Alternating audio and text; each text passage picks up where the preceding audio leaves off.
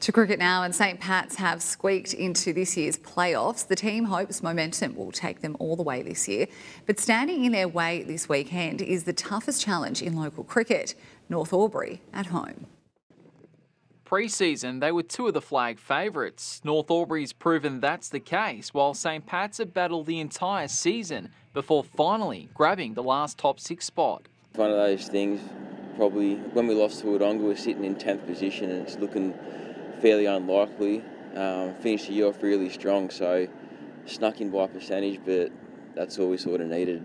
Now anything can happen as St Pat's prepare to take on the best side in the competition, but they're not short of confidence. The Paddies have already defeated the Hoppers on their home deck this year. To be fair, in the 2020 game, we, we showed glimpses that we're, we're capable to match it with them as well. So they finished top because they're the best side in the comp, but I think we know that our best cricket's obviously good enough against them, so just got to try and bring that on the day now.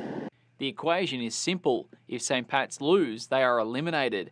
Win, and they find themselves in a second straight preliminary final. The belief in the group's really high, and add that with the momentum that we've had over the last five, six weeks. Um, it's a great feeling around the group. Everyone knows what they've got to do on the day, and it's just like I said earlier. It's as long as we can put that on the park, I think we're, we're a massive show.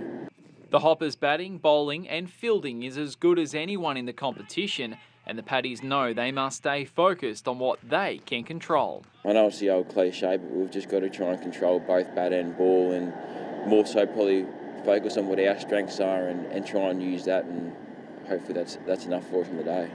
The game will be played at North Albury's Bunton Park from 11:30 a.m. Saturday. Stephen Murphy, Prime 7 News.